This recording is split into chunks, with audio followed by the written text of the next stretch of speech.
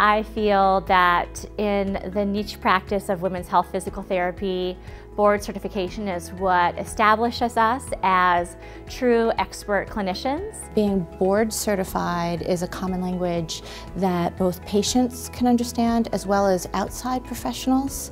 Um, and so um, I remember when I first started my practice,